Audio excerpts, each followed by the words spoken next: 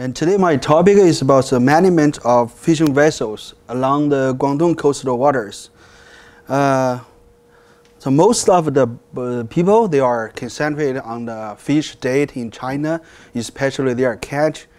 And uh, as for me, I'm more concerned on the fishing boats, the numbers, their power, the, the, the distribution uh, between province, because this one is uh, fixed and uh, confirmed. Uh, if we know, uh, if we want to manage the fishermen's behavior, we want to know more details about on the uh, fish ves fishing vessels. So I would like to introduce my report in uh, 14 four uh, subtitles. First is the roles of fishing vessels in fisheries management. Second is the China's fishing efforts and catch, uh, their position in the world. And three is the profile of Guangdong's fisheries. As I worked in uh, Guangdong Ocean University, and uh, so I want to know more about the, the Guangdong's fisheries and the fishing vessels. Uh, the fourth is the, the main working contents of the fishing vessels management, like uh, what they are doing in the fish, fisheries and administrative uh, officers or the workers, what they are doing now. And uh, from uh, six years, uh, uh, five years sampling and in, interchange the views with the fishermen and the fisheries officers. I conclude some challenges in the fishing efforts management. Uh, so I want to share my opinions and uh, want to ask you guys if you have some opinion to how to manage the fisheries in China. that will be better video. So let's go to the first. Uh, we all know the fisheries roles is highlighted annually in the FAO report, and uh, especially in uh, eliminating hunger, uh, promoting health, and reducing poverty. And in 2014, the world per capita fish supply has climbed to a, a new high record of 20 kilograms per person. That means uh, every people can share the capital of 20 kilograms, but uh, more than half is from the agriculture. So I will give more details later. Uh, there are more than 800 people still in the world uh, continue to suffer chronic malnourishment. Uh, and uh, by 2050, uh, the people, the population in the world will reach to 9.6 billion. That means um, 12, uh, 2 billion more people in the world. So we are uh, facing huge challenges of feeding our planet while safeguarding its natural resources for future generations. That's what we are calling about uh, sustainable development, especially in the fisheries. Uh, uh, in my opinion, I, I would like to understand the fisheries management like this. Uh, we all know that fish at the ocean, uh, we want to catch uh, on our meal or uh, on our table or uh, in the market. So the fishermen and uh, use their, their fishing vessel, their, their tools, is the most important part in fisheries management and fisheries fishing activities. And like our research and management both want to uh, manage uh, sustainably or want to more details and uh, like our research institutions or want to provide more insights or suggestions to the uh, fisheries and uh, to the catch uh, date. so there are huge gaps between the fishing activities and the research and also the management goals between the research and uh, that three parts are not so integrated. So many problems uh, exist in the three parts. Uh, like the stock assessment or sustainable, we still have uh, many problems. That since 1950s uh, from Europe, the, the stock assessment, they approve is not so useful, not so it's not used in the fisheries management. So we are trying to find another models to evaluate the fisheries status. Uh, let's see the global uh, total capital fisheries production in 2014 is worth 93 million tons. And 80%, 87% of the uh, catch is from uh, marine waters. Uh, so the China still remain the major producers is followed by Indonesia, US, Russian federations. here I show the, the top 12 producers in the world that's marine capture productions. Uh, we see that China is the ranked the top, and then Indonesia, US, and uh, the last uh, the 12 is Philippines. So then is the I want to say more about the China's fishing efforts. Uh, like uh, in China, uh, the 2014s, the total fishing vessels uh, in the world is 4.6 millions. And the fleet uh, in Asia was largest, 3.5 million. So it's accounting for 75, uh, three quarters of the uh, global fleet. And uh, uh, globally, 64% of reported fishing vessels were engine powered in 2014. And also, there are 85% of the world's most fishing vessels were less than 12 meters in length of oval. That means 80% uh, of the fishing vessels worked in the coastal waters uh, is less than 20 meters, uh, the depth, or at most 30, like this. They cannot go to the uh, distant waters or the open seas because they are, are fishing the capacity there and the length of over the length of the vessel is cannot work there. So the main characters are small boats with engines. Uh, and let's go to the know the understand the China fishing vessels in 2014. The total number is uh, more than 1 million uh, and with the power of 22 million kilowatts is accounting for 23% of global total fleet and uh, accounted for 30% of Asian fleet. Uh, and uh, in this one, more than 1 million uh, fishing vessels, the motorized fishing vessels accounted for 64%. let's, let's see the percentage of Chinese fishing vessels.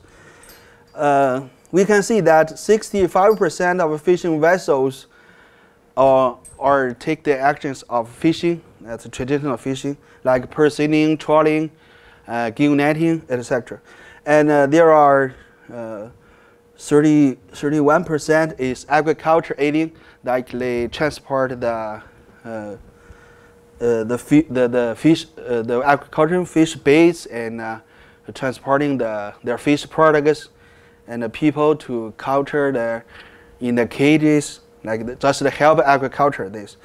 And there are four percent vessels of fishing aided. They are include three parts. First is the eight fishing vessels, such as purse seiners, they need two small boats to help fishing, and uh, the boats of landing and the transporting from uh, the catch to land and to the port. as so many fishing vessels, they cannot uh, land uh, their catch uh, to the port straightly. They have to use the, they have to need the help of the fishing aid boats. In the streets, the fisheries administrative vessels, that means for monitor the legal fishing or to check the fish. And uh, here I would like to show the provincial distribution of Chinese vessels uh, and powers in 2014. And maybe you guys want to ask me is why you use the date in 2014 and later because it's uh, closely related to the fuel subsidies.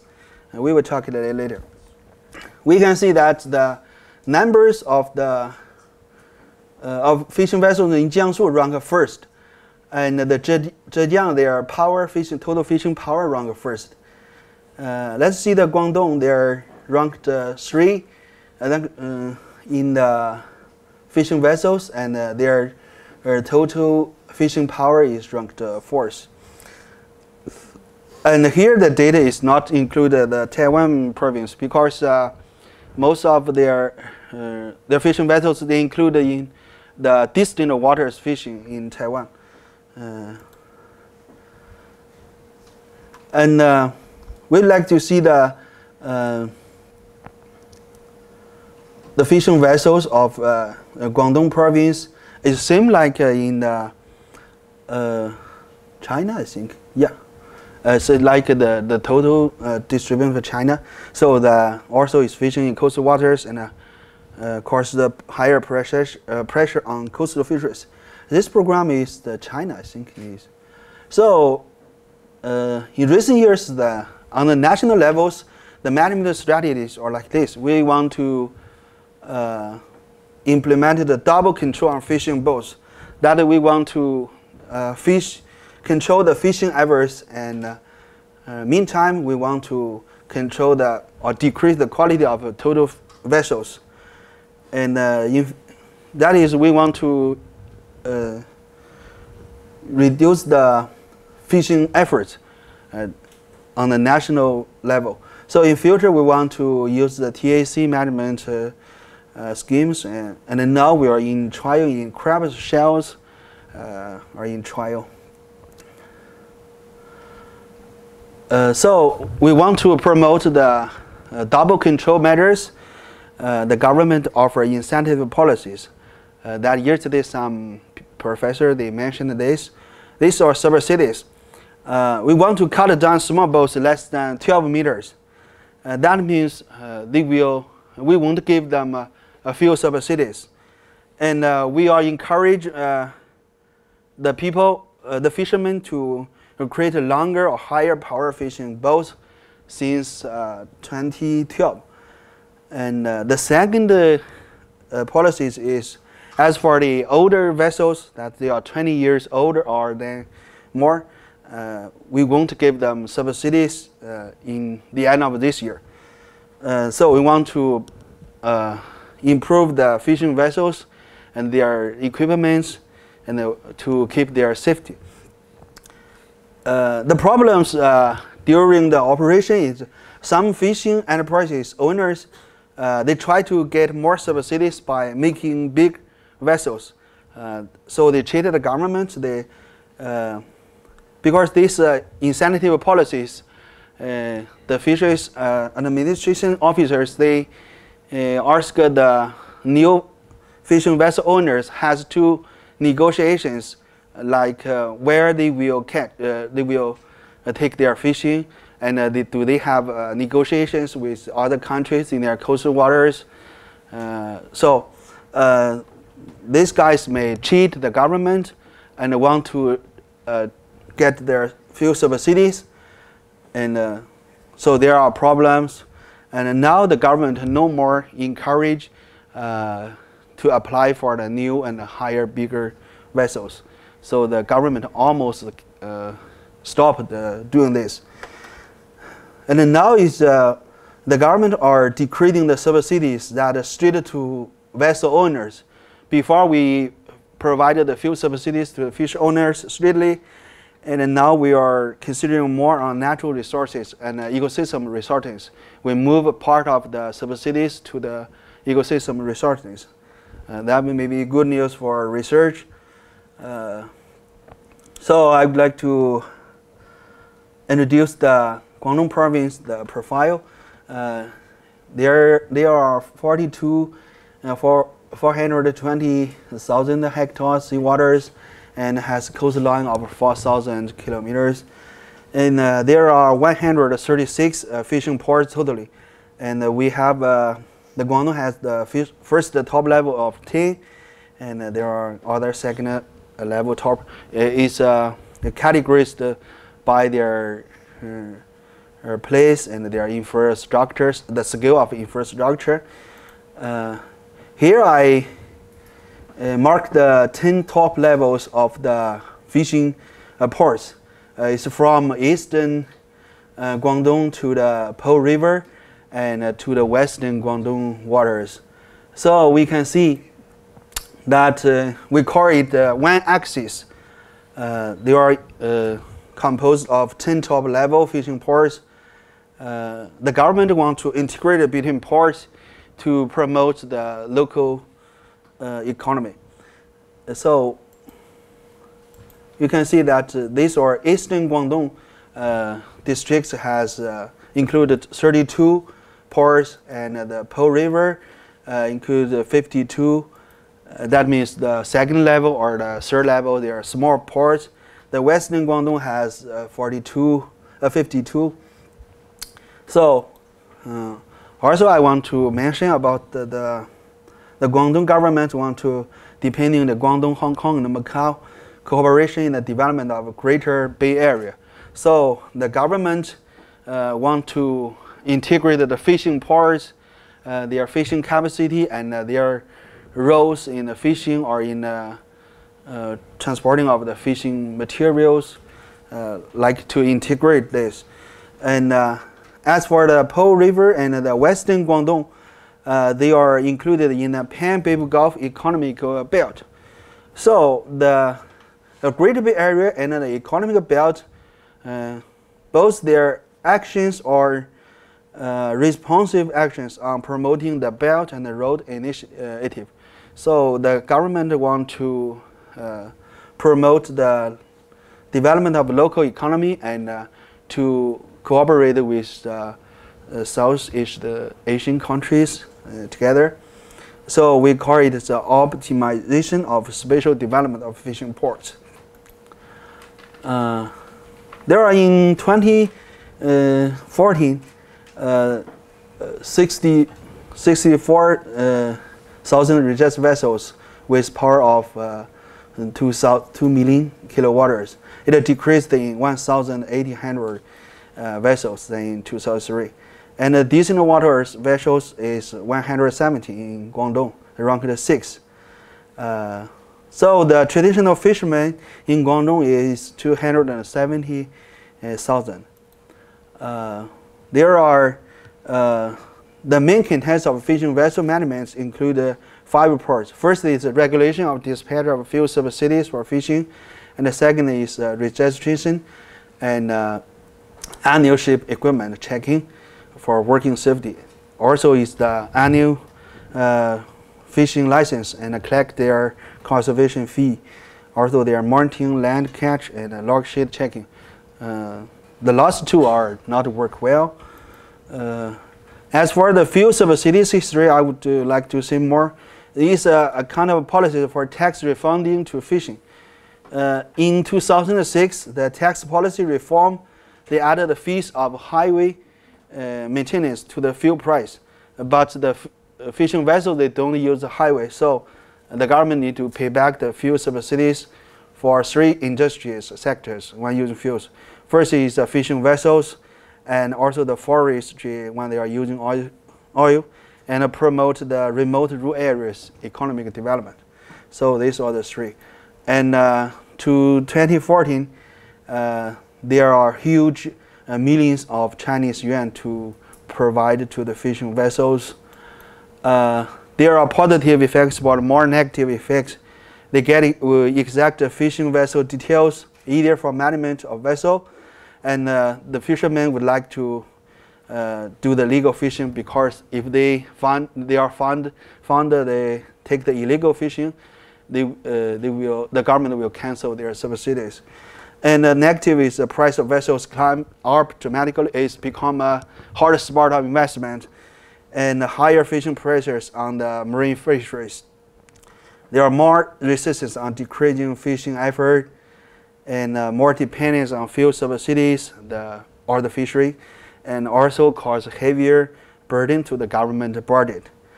And uh, also it's disturbed the market price of the marine catch. So now the government are optimized and uh, cuts down the fuel subsidies. Like I mentioned before, we want to move part of money to the uh, ecosystem restoration, like uh, the square fishing boat the government buy from the fishermen and give them money. Uh, the, the fishermen don't, uh, they won't uh, continue fishing.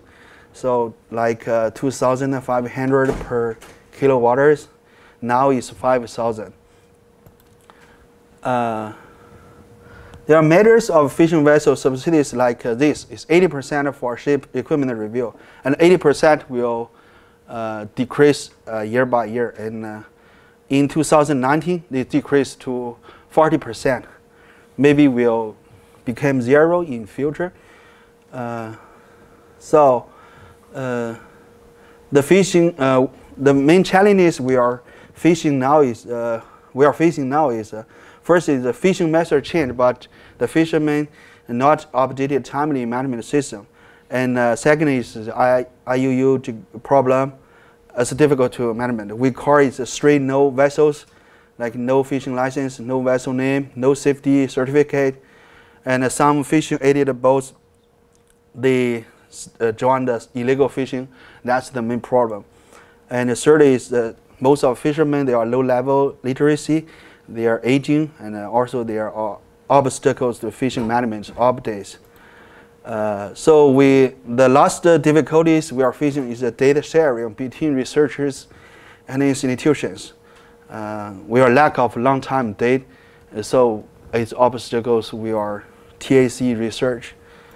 And uh, last conclusion is like this, that uh, I would like to say is every step in fisheries management contribute greatly to the world fisheries sustainable development. We want to do more uh, although we are facing so many uh, challenges, uh, we would like to cooperate with our colleagues sincerely. And I would like to thank the Special Funds for Agricultural Department and my lab members. And that's all. Thank you very much. Thank you very much, um, now the floor is open for questions. Thank you. Um, thank you for your talk. I have a question. You mentioned very briefly about e money going, maybe more money going to ecosystem-based management, and you mentioned also briefly about um, habitat restoration. I just wonder if you could expand a little bit on, on that, uh, those, those areas, please.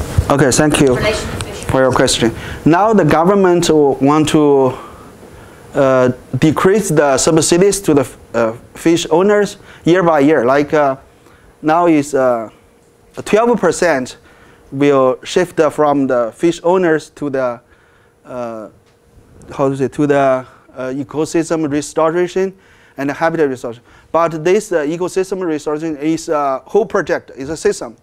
Uh, and uh, now they are, the government ask like a research institute, they have to uh, when they uh, applying for the, uh, when they're writing the proposals, they have to cooperate. So they want to design from the west to, uh, to from the east to the west, and also it, uh, how to say, it's planned uh, in the like the fish reefs, and some are for the basic infrastructure improvement of the fishing ports. Like every year, about 20, 12% of the money will arrange to these sectors uh, totally, and then they will uh, sector to species maybe arranged to different parts like this. That makes sense? Uh, I was just wondering, sort of in terms of ecosystem um, or, or, habitat restoration, does that mean does that mean marine protected areas? Does it mean artificial yep. reefs? Does it mean what what kind of measures, general measures might be might be relevant? Like some money for the uh, evaluation of the marine protected areas, like uh, we we we set up many protected areas, but some are not so worked. Is it before is we just uh, uh, circle some place, but it's not so scientific. Now we want to re reevaluate this, and uh, some are some money will uh, put to the restocking or stocking enhancement and some money for the basic research. Uh, like uh, my work is about the fisheries poli management policies or like this, and some for the natural experiments to to know more details, uh, the basic, the, natural science uh, research like this. Indeed, um, I can ask two small questions. The first question is that uh, in your presentation, you showed a number of motorized fishing vessels, which is about 600,000 tons. I was wondering whether it increased about to the ocean fishing vessels or include uh, freshwater fishing vessels. And uh, the later part of the presentation mentioned uh, issues related to three, uh, three no ships, black ships. Do you have rough estimate about number of black ships? Some Oh, sorry, no. Uh, no, we don't have the, how to say, the exact numbers, uh, but we know it's fact in from the, uh, the, the, the Yellow Sea in the coast waters ever have, but it's, it's just the question of numbers, I think. And, sorry, I'm not so concerned about the, the, the fishing vessels inland because they, their fishing, the, the power of fishing vessel is very small and only two or three f- fishermen or, you know, just catch I a mean, the number you provided, whether it includes the freshwater fishing vessel or it's just No. about No, six. uh, only, only, only the marine waters, the fishing vessels. The total number is six hundred thousand. Yeah, yeah, yeah. It's uh, marine waters. What um, these these fishing boats work in uh, marine marine waters. Yeah.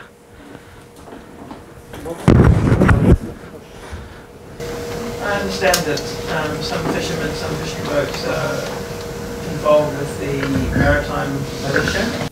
Just wondering whether you can expand upon that, how widespread it is, and, and what's the relationship with the government? Uh, sorry?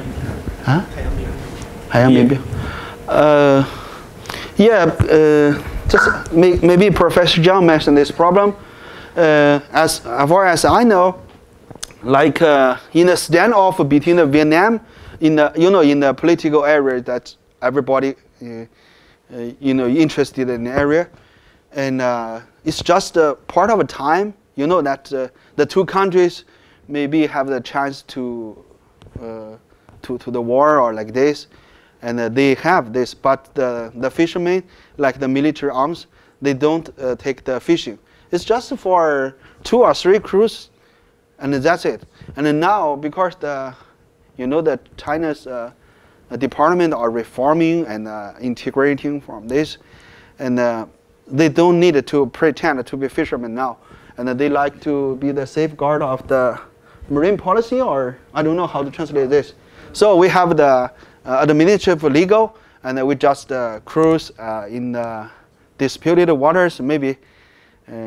So that's not no more a problem yeah, it's before they have this, only some cruises, but now they don't need to pretend to fishermen now.